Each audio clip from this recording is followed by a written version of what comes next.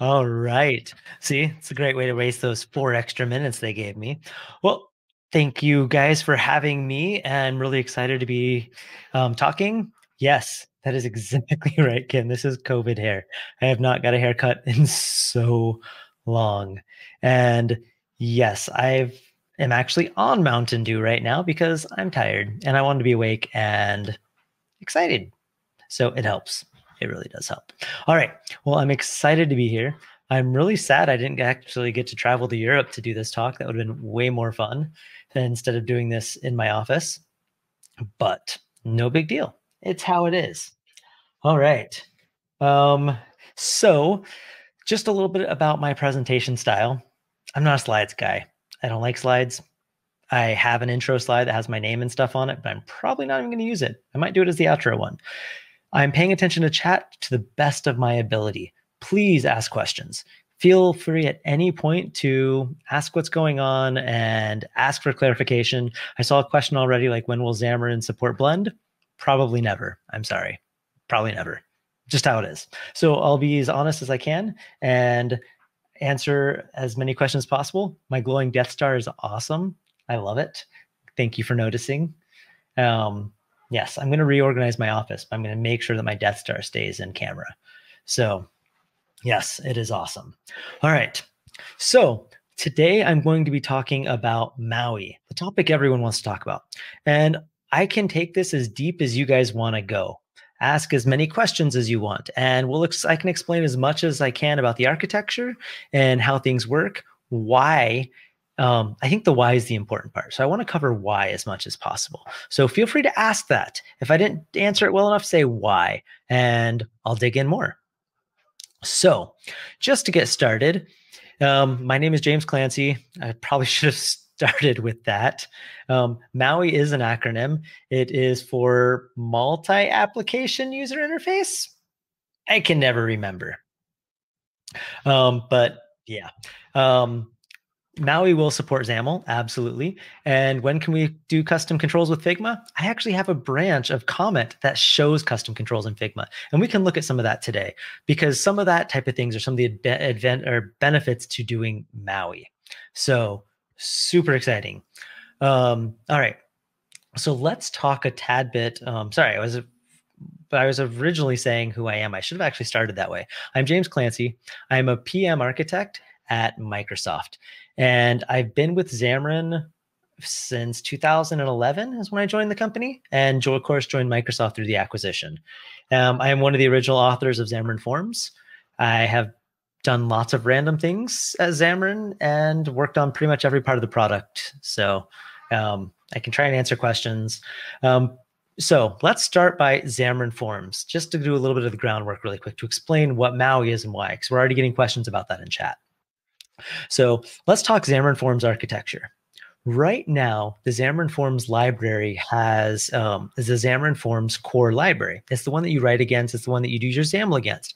It has buttons, labels, pages, all the things like that you're used to, and it uses an MVVM pattern. On top of that, you have the Xamarin platforms layers, which are like Xamarin or that uh, Xamarin Forms.iOS, Xamarin Forms.android, .wpf, .whatever, right? Those bring in this platform specific code, like how to present a button on those platforms. And right now, there's a the way that um, the inheritance is is there's the core layer, Xamarin Forms, which has the buttons and things like that. XAML depends on that, and then on top of that, there's the platform layers that depends on core. Maui is a brand new architecture. Now, the big thing is we're not moving, we're not really breaking a lot of things for you. Our goal is to break as little things as possible for you while doing this new architecture. So with the new you might i mean all you're really gonna have to do right now the goal is to make it to where all you have to do is change a couple namespaces and your app should compile we should be able to write a script that'll do it for you but there's a lot of big changes coming in maui the biggest one is right now we have xamarin core um, the core library the xamarin forms core which is the root library. And then the renderers are on top of that. With the new architecture, we're flipping that. It's complete turnaround. Xamarin Forms is going to be a new layer, the new MAUI layer will yes, I will show code and show architecture. I'm just trying to explain it a little bit first. So forms in its current form is going to be renamed Maui. That's the plan. And but think about I'm just going to call it forms for now, right? Because that's what you're used to. Your MVVM layer, we're just going to call that forms for the duration of this talk. So you're keeping your MVVM, you're keeping your XAML. If we rename it to Maui, it is what it is. But let's just go with that. So that's the forms layer. Now what we're going to do though is forms is going to now depend on Maui core. Now, let me share my screen. And oops, sorry, I did not mean to bang my mic. Sorry if that was loud and obnoxious. Let's jump over to an, Maui sample. Now, this is all early, early stuff. The project structure is going to be even simpler. We're still waiting on .NET features from to make this better, so that way our project structure is better. So your project structure will be better. But this has eventually inside of this Maui, this Maui core, um, this is the root. It has everything in it. It will have renderers. And actually, we have changed our mind. And yeah, I don't know if, yeah, someone could move the logo. I don't know. I can try moving things around. Scroll, scroll. Oops, wrong hotkey. I can make things bigger. All right. Hey, thanks for removing the logo. Awesome. Really nice. All right. So we have this Maui core library. You'll notice this is this is all early prototype stuff. This is not the exact solution.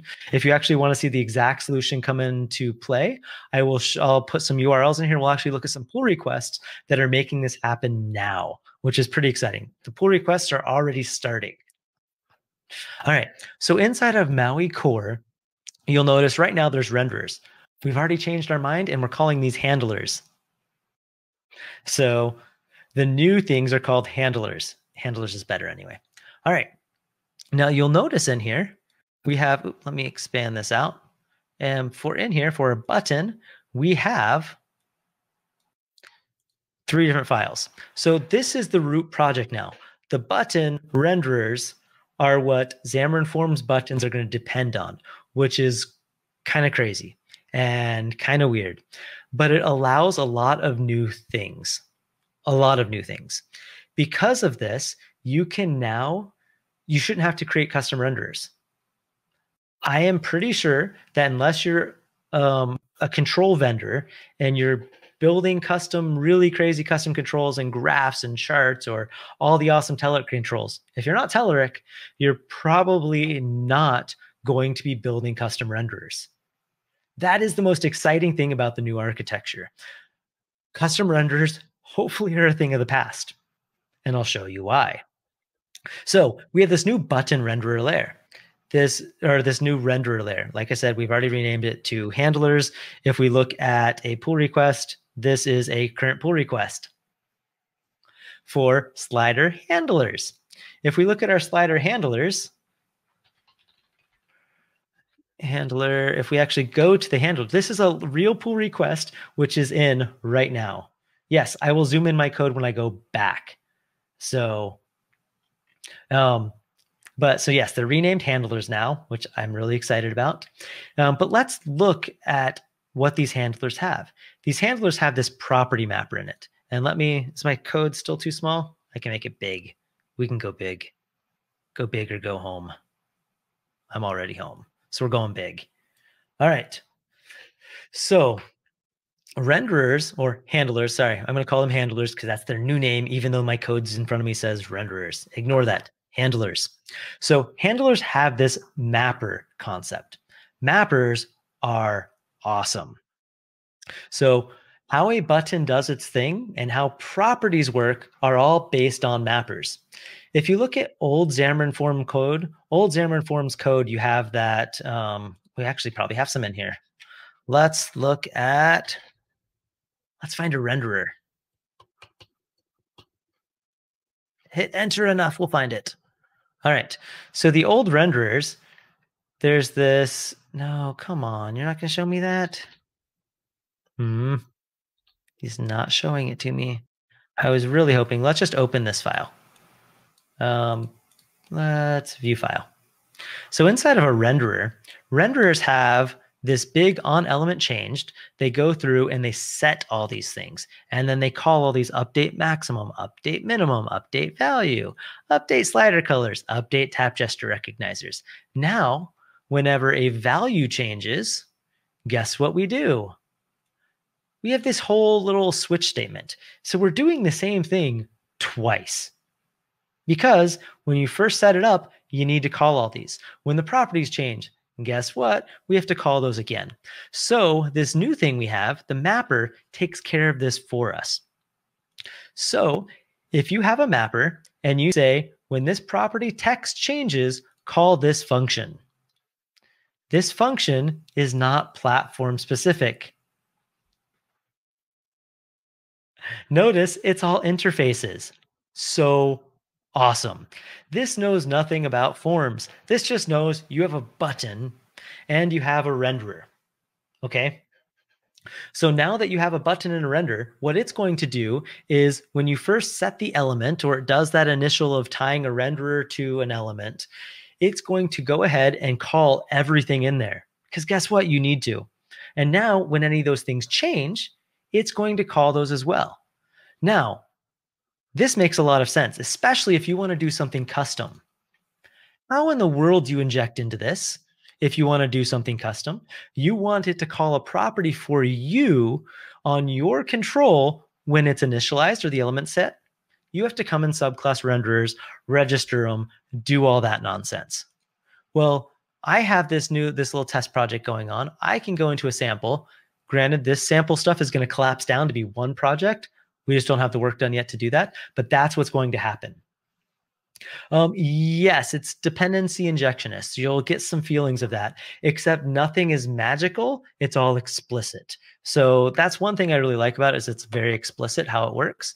So if I go into this my app, I can jump into here and I can mess with this thing right? So right now I have a button that's going to happen. What I can do is I can call button handler, not renderer, handler. But it'll probably be button handler dot mapper. We'll figure it out. And now in here, I can say my awesome property. All right, my awesome property. And if that thing's a bindable property, you're automatically going to um, renderer view. Now console dot write line. Uh, do we not have system? All right, let me do hotkeys. Actually, I don't have Keycaster on. I'm going to do this in case I code. That way you guys can see my hotkeys. I just got to do some funky things to get it in a good spot. That looks good. So you can see my hotkeys. I like learning people's hotkeys. All right, so we can do a write line in here. And now, hey guys, this works without a custom renderer. All right. Now, this method is going to get called one time and one time only. The reason is we haven't hooked this up to a uh, up to um, a bindable property or anything like that. Because if you do a bindable property, whenever that update fires, it's going to fire that as well. Um, yes, Keycaster is free and it's great. But guess what? I now just got this thing, this method that's sent, and it's going to pass me in the renderer. And if we look at this renderer, it's our button renderer. And this view is a Xamarin Forms button. Yes, it's of the uh, type of that interface, but look, this is a Xamarin Forms button. It has every property you're expecting, all of them. And so now I'm given the native view, which is on this renderer. So I get this renderer and come on, debugger, show me the properties. There we go. All right. I can go into this and I can go to the native view and even to go to the typed native view, and it's going to be a UI button. I have the UI button and I have the view right there in shared code. All right. If that's not exciting, I don't know what is. Now, on top of that, let's say you don't like how we handle something. In this case, in the old form stuff, how would you ever change update maximum or update value? What if you want to do some funky math in there for the update value or the slide colors? You want to inject in and do awesome gradients because that's how you roll and your app is full of gradients. What you can do button renderer dot button mapper. Now do name of but um i button dot pick out any property you want. Background color. Thank you. I don't want you to set the background color. I want to do it because I'm building debug rainbows and I want to randomly pick a color for every single button. Do you see how much easier this would be to write a library like that? I just injected it at the renderer level in my shared code library. This is not iOS app, guys. You'll notice net standard, iOS, Xamarin. I can switch between those. This lets you inject in without doing anything funky. And I can do if iOS or .NET Standard or whatever. And if I'm in, let's switch this to iOS. Um, let's go to if iOS. Let me do that again. Now I get, now you'll notice I'm getting all my iOS completions. And if I can say var button equals v, um, sorry, um, we'll want to do r dot native view as UI button. And I can even bring in UIKit. Actually, I spelled UIKit wrong. Let's try that again. UIKit button. So now at that point, I have a native button. I can do whatever I want with it. I can set background color to an image because we don't support images. But guess what? I do. And I know that that interface, I can even do a check if if I have my own button type, I can do if or I'll just do var my button equals v as my awesome button because I created my own subclass of button. I now have that typed and I can say if button is if my button is not equal to null, do that. And then I can grab off any properties I want and I can set things based off those properties. So you're now instantly unlocked and you can do anything you want to the native layer without doing a custom renderer. No more every time I have to render or register a custom renderer, I have to think what's that syntax? Where's that attribute? Another benefit to that is startup time. We all know startup time, especially on Android. Why? Because we're searching for custom attributes and we're finding them to then register them. That's out the window. It's not needed anymore. We don't need it. We don't need to use custom renderers in that way. So we're actually getting rid of those attributes as how we register things. We're going to this, you'll see this layer right here where we're injecting, because this prototype didn't have any layout. So we had our own dummy layout render. So this is the this is the syntax you'll use. And so third party libraries will have an init handler. So they'll just do like my Telerik controls dot init or whatever, or any of these third party ones. You have to do that anyway, or else the linker removes those DLLs. So the initialize will do that. Um, uh, the bots, the bots are always, always. I'm sorry, the message is deleted. I wish I could see it. I'm sorry. All right. But you can jump, like I said, you can inject in at the native level. And if you need to do a custom renderer, you still can. It's right there. It's a one line. The other benefit of doing this in order, you do it in the order you want, you know the order they're going to be called out. Super awesome. All right. So that's what you guys wanted to see right away was some of the stuff on how some of these are are very different. Oh, man. Well, you should be able to use lots of exclamation points bots shouldn't care about that. All right. So we have a lot of power when it comes to these. And you can easily inject in and do some things. Now, I know I was asked about Figma stuff earlier, right? Let's actually, I'm just going to go crazy here. Let's go. Ah, I'm even on the right branch. Hopefully, you guys have all heard of Comet, right? Anyone not heard of Comet? All right. Well, let me launch Comet. And I'm hoping no one says no in chat. Let's don't save that. Let's jump into there. So, Comet had a lot of inspiration for all this new Maui stuff. Oh, you I'm sorry. I'm so sorry, guys. All right. So, Comet is one of my little pet projects.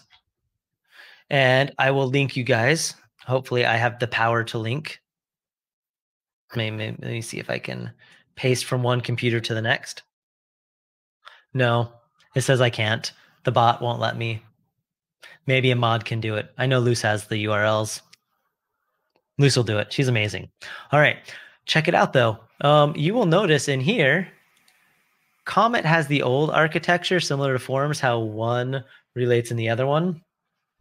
Um, or the dependency is the same order to where there's the Comet core and then there's the platforms. We've decided to switch those around because Comet is an MVU for C sharp. It's something you can play with now, and it's what's heavily inspiring what will become Maui.mvu. Um, I'm still working on it, still experimenting with it. It has C sharp hot reload, which is really fun. Um, but we were asked about Figma stuff. Oh, thanks, Luce. Thanks so much. So we're asked, I was asked about Figma things, right? How are we going to take Figma controls and bring them in? Well, inside of Comet, Comet has handlers. That's why I'm excited about the handler name. Um, so that's where handlers come from was actually what we named them Comet. So people didn't confuse, get confused with um, renderers and the negative connotations of renderers. Um, Yes, this will work on WPF for on Windows. I don't know. Right now, our target is probably going to do UWP or WinUI. WinUI is what's most likely going to be.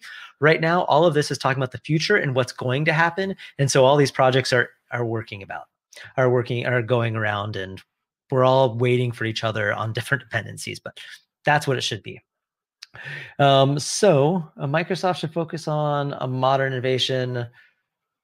So I completely agree. What we're doing is our goal with Maui, and this talk is on Maui and Maui, kind of the inner workings of what's happening with .NET Maui. Um, so our goal is to try and break people who are doing their existing XAML and MVVM apps as little as possible, but still enable you to move forward to an MVU style pattern if that's what you so choose. That's another reason why we're doing this big re-architecture to where we're replacing the dependencies and making the handler layer be the root layer. So if we have all these handlers which use interfaces, guess what this means for something like Comet or MVU? I can now build an entirely new UI paradigm that works very differently. It has very different um, very different things that work very differently. And if you're looking at how MVU looks, if I look at one of these samples really quick, let's go to a sample. And actually, let's go to a Skia sample since you guys are asking me about it. But you'll notice things work very, very differently. That's how you declare UI. This is how you declare a list. It's all from C Sharp. And it works very differently because there's a body which returns the view. And so at any point, if something changes, we can reevaluate this body and redo everything. And yes, there will be documentation. Microsoft loves documentation. Um, you can't do UI frameworks without documentation. So absolutely, there will be documentation. So MVU works very differently. And MVU uses different controls. If we look at how, let's look at a clip sample. Check this out. I can just say, hey, image, let's add a clip shape to you. Let's add an overlay. Let's do a shadow. Now, a couple things that are different about this. If we look at a, how things work, and even like with a button, if we're doing a button sample, I say, hey, button, the only properties I have on that, I don't even have properties really. A button Come on, you can do it, Visual Studio. A button has two properties, only two properties text and a click. That's it. And they're read only. You can only set them via the constructor. Well, how do you style this thing? All of that happens through Fluent extensions. So, dot, let's do font. And so these things are very simple. And in the end, with Comet, I was rewriting that renderer layer and making it into a handler, making handlers, and they were very different.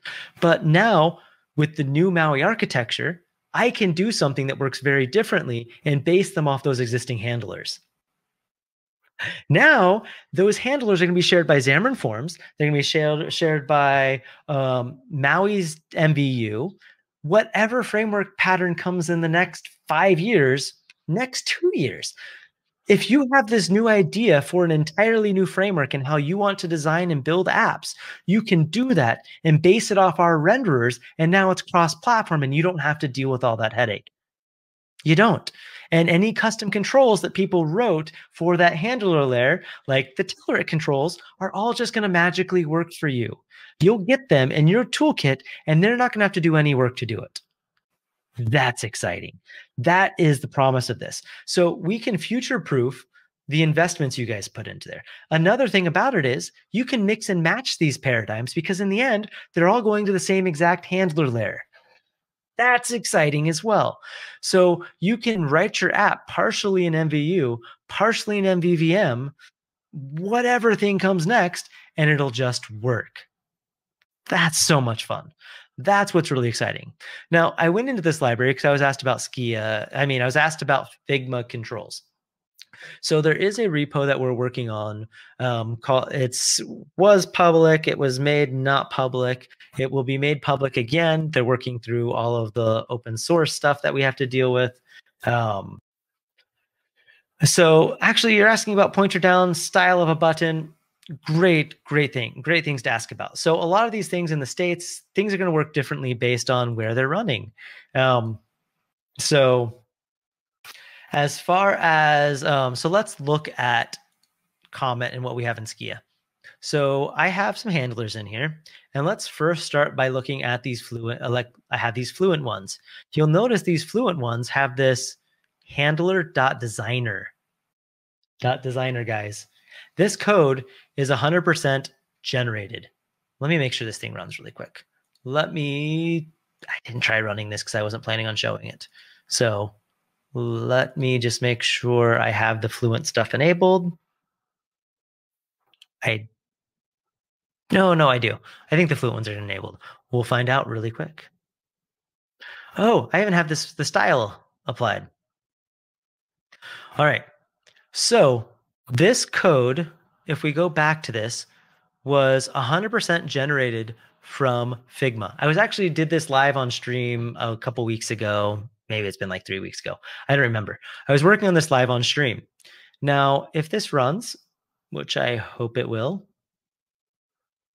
um, and will we have composable lower level components similar to Flutter widgets?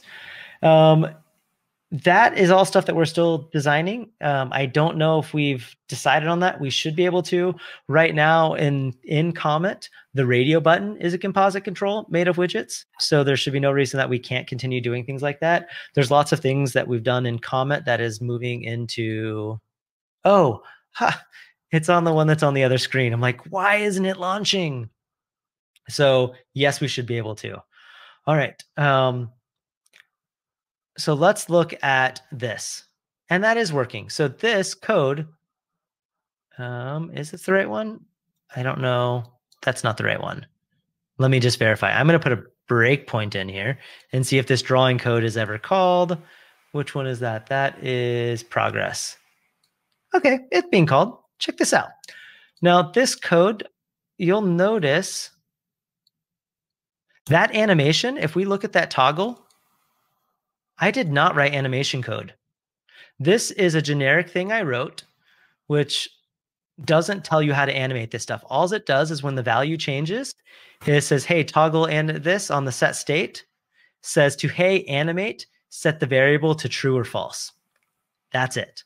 Now, this code comes from Figma. This is coming from the Figma Fluent UI design spec from Microsoft, and it auto generated this and it says, hey, for this state for on, for off, this is the colors and this is the location. So that circle, that handle rect, and it automatically will mix all these layers and do everything. I didn't draw any, I did not write any of this code. 100% generated from Figma. And you can just go, it's fully animated. And I did not write animation code. The only thing I said was animate the states, and it automatically figured out what states do what layers, and then animated the control. So, yes, we will have animated Figma stuff. This stuff is coming and we're working on it. All right. And you'll also notice if I right now, if I was to switch to my Skia samples, uh, which is the material UI, the button has all the different states. I can actually just show you that code for a button handler. This does all of that based on the states. All it has to do is it will just go and ask for the color based on the state. And this was, I wrote this drawing code. This is 100% written drawn code, but all I'm doing is drawing shapes. So it's super, super easy. And I do say, hey, draw the background radius to where I make the radius because I do the little fill like you see if you're long pressing and fully animated code just by saying, hey, lerp between the, the radius, fully animated. All right. Um, and yes, we are going to be working. I see. Uh, sorry, I'm trying to go through questions. I'm missing things. Um, yes, we're going to be working with the C sharp team. Um, Mads is going to be helping us to make this look better. There's, I mean, there's lots of things we want to do to make this nicer. All these news and enums. We're going to make this thing nicer. This is going to get better. Mads has a tons of tons of ideas to make this better. It's going to get cleaner. All right. Any other questions I missed? So styling things like pointer down style. Styles are things that we've been talking about in some of our meetings with the Forms slash Maui teams because they're the ones who are working on that. We're working on something that should work for regardless. Um, I like I said, I'm doing that in my I showed you the state changes. As state changes by clicking, I even have hovered state in here. It does that. So on a desktop, you get hovered, but you won't get hovered on mobile because that doesn't make sense. So we're working on things like that. Um, how will updates work in detail? Um, so updates as far as for as far as MVU works, um, really simple. Right now, I'm trying to ditch this. I'm hoping I can ditch this. So right now I have a thing called a binding object. It's a little bit confusing because there's a binding object in forms, but you can do this, or you can implement a new interface called iNotify property read, which subclass is iNotify property changed. If you have if you use this class, all you have to do is just say, hey, I've got a state, or you can just do state for a primitive. And my binding object, every time I use that, it's going to automatically update for me. I don't have to do anything as far as bindings go. I just use this class of that binding object, and it's going to automatically data bind everything in here for me. It's going to recall this function to set the text um, this one right here, this label is going to automatically update whenever state.text changed. It just will. So you don't have to think about data binding. It's going to re-execute this body. It's going to re-data bind the functions. It just is going to work for you, which is really, really nice. So if you use a bindable type object, it's just going to work as your data models. Done. Um, all right. Which so right now mvu has actually is actually better so the question is being asked about like dart does things where they do builds to reduce the gc calls the mvu stuff um, i actually get told that comet slash the maui mvu is not real mvu because i cheat and i made it more performant so what should happen is every time you change something in the state it should set the state and it should call this build method and then diff the entire tree. That's pure MVU. I don't do that. I don't diff the tree if I don't have to. There's lots of things that I do to determine if I should have to diff the whole tree or not. And I even tell you I'm diffing the. I do it in debug mode. I give you a warning. And I think we can do some like Roslyn analyzers to tell you you're doing something you shouldn't do right now, looking at this text method, if I was to remove this so it's not a Lambda, this, oh, it's trying to hot reload and I've had breakpoints because I was fixing hot reload. Let me just stop right now. So right now, this text, whenever state.text changes, I'm going to have to diff the whole tree to figure out what happened with that label. And I'm going to tell you, okay, your label is passing in um, the string and I don't know how to create the string for you when text changes. Please switch it to a Lambda. Now I know how to update this label because I know this state.text was used on this label. So whenever it changes, you know, just call the Lambda again. And so that is not going to have to recreate all these objects. We're not going to have to recreate the whole tree and diff it. So there's lots that have been done to prevent this whole diffing the tree. And so I'm going to avoid diffing the tree whenever possible. And yes, technically it's not pure MVU because of that, but I don't care. I care more about performance. So it works just like MVU. I mean, and we can turn off that diffing mode. I mean, we can put it into full diff mode every time, but so it's true MVU, but I don't want to. Uh, but yeah, so you will see these automatically update. So I don't have to recreate all those objects. So, all right. Any other questions? Did I miss any? Any moderators? Did you notice I missed something? Hopefully not. All right. So like I was saying, with the MVU, it's going to enable us to, I mean, sorry, not MVU. With the new Maui handler architecture, it's going to enable us to do new things simpler and easier. And right now, to do this prototype and this experiment with Comet, it was a lot of work because not only did I have to come up with a new syntax and I had to come up with the diffing and hot reload and all these things like that, I had to build that new cross platform UI layer. And I'm not going to have to do that anymore. Um, Flutter's MVU is very similar to what I'm doing here, and it's pretty performant, but they have some tricks that they're doing as well. Um, but Fabulous is pure MVU, and you'll notice a speed difference between Fabulous and Comet because I'm cheating. So, also though, if any of you guys have been using the um, Blazor bindings, the Blazor bindings will be able to switch ahead as well. I mean, get some speed boosts ahead as well. Because right now, in order to do the Blazor bindings, they're binding to Xamarin Forms.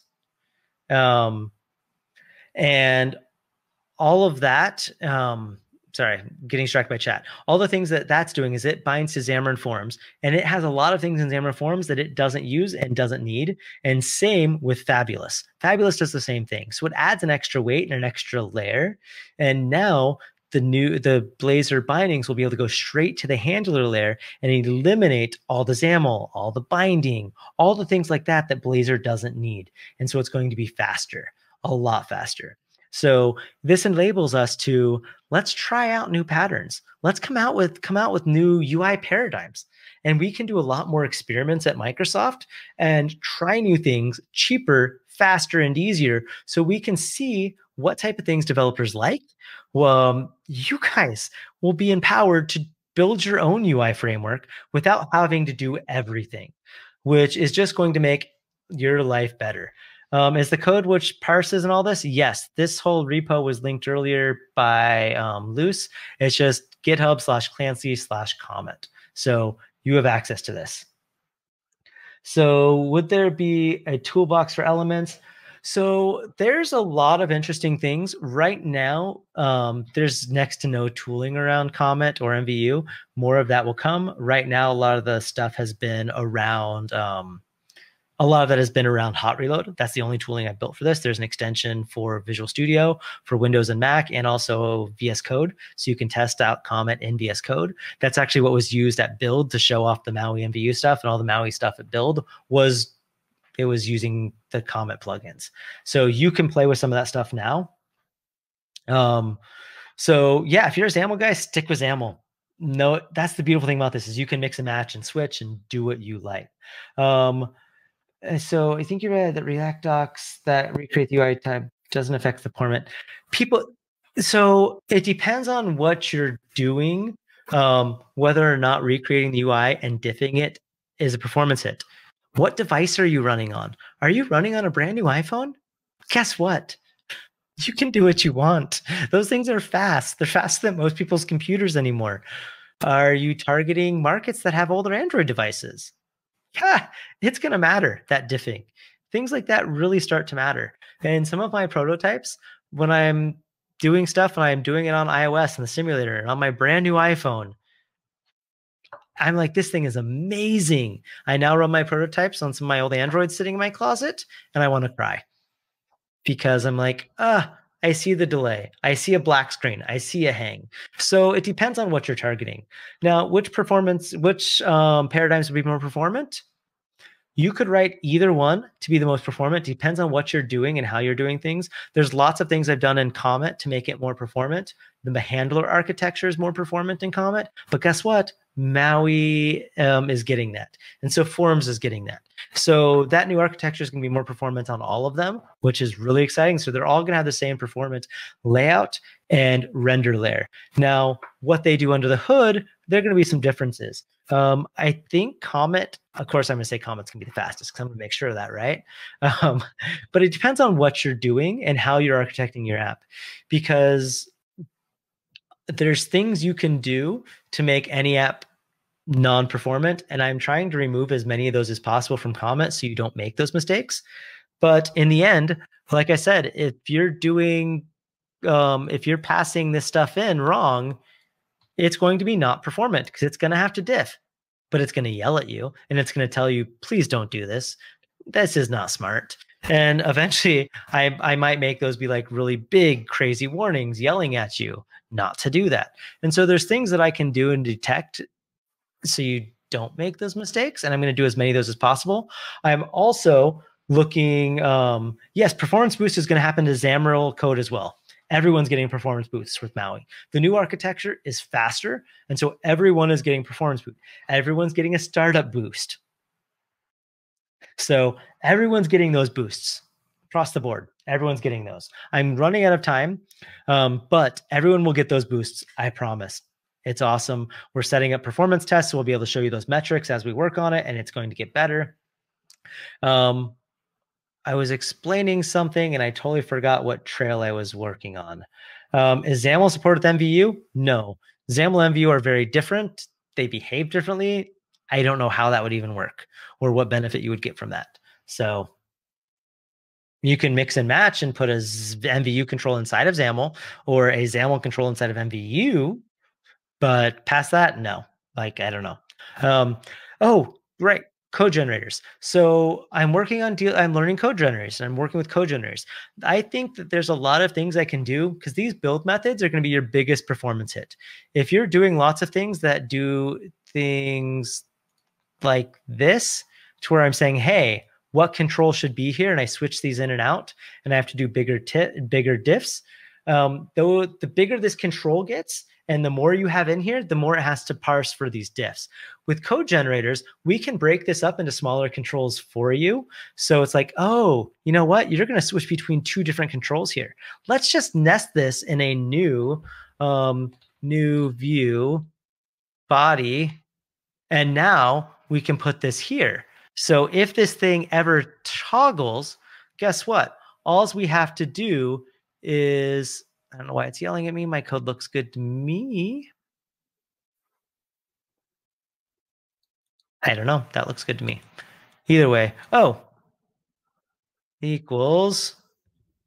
That's better.